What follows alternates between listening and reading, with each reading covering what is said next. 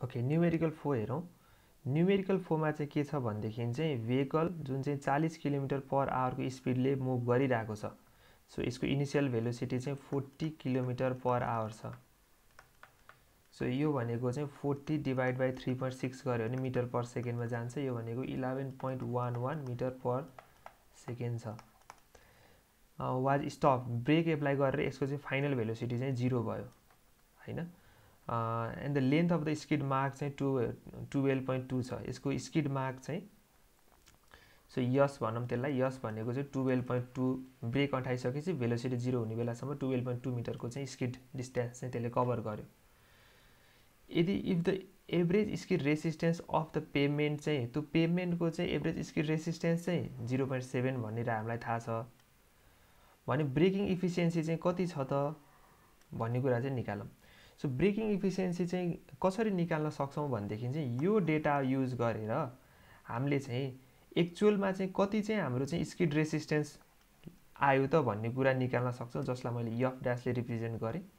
र अनि त्यसपछि रोडको स्किड रेसिस्टेन्स चाहिँ जिरो पोइन्ट सेभेन छ भनेर हामीलाई थाहा छ। सो त्यो भनेपछि हाम्रो ब्रेक चाहिँ कति इफिसियन्ट भयो भन्ने कुरा चाहिँ यो यदि यसलाई चाहिँ हामीले यफले रिप्रेजेन्ट गऱ्यौँ र यफ ड्यास भनेको चाहिँ क्यालकुलेसनबाट आयो भने f dash by f into hundred गऱ्यो भने कतिको चाहिँ हाम्रो इफिसियन्ट छ ब्रेक भन्ने कुरा चाहिँ पर्सेन्टेजमा चाहिँ हामीलाई थाहा पाउन सक्छौँ। सो यो डेटाबाट यफ निकाल्नलाई हामीलाई के थाहा छ भने v square minus u square is equals to two a s भन्ने थाहा छ। अर भी भनेको जिरो छ।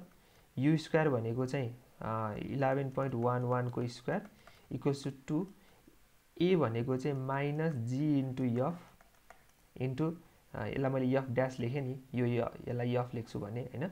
इन्टु यस भनेको चाहिँ के हो? यस भनेको हाम्रो चाहिँ distance skid distance to twelve point two so यसलाई क्यालकुलेट गऱ्यो भने यहाँबाट चाहिँ यफ ड्यासको भ्यालु आउँछ। So F ड्यासको value zero point five one six आयो। अनि त्यसको पेमेन्टको यफको भ्यालु चाहिँ जिरो पोइन्ट सेभेन दिन्थ्यो भन्यो। तर हाम्रो चाहिँ अब ब्रेकको इफिसियन्सीको कारणले गर्दा हुनसक्छ zero point five one six मात्रै आयो। सो त्यहाँबाट के थाहा पायो भने देयर ब्रेकिङ इफिसियन्सी भनेको कति भयो त?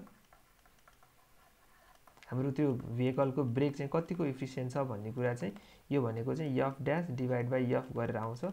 यो भनेको zero point five one six divided by zero point seven zero गऱ्यो भने आउने भयो इन्टु हन्ड्रेड पर्सेन्ट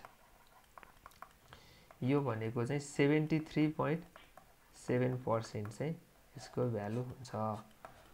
यसरी हामीले ब्रेकिङ इफिसियन्सी पनि क्यालकुलेट गर्न सक्छौँ। Thank you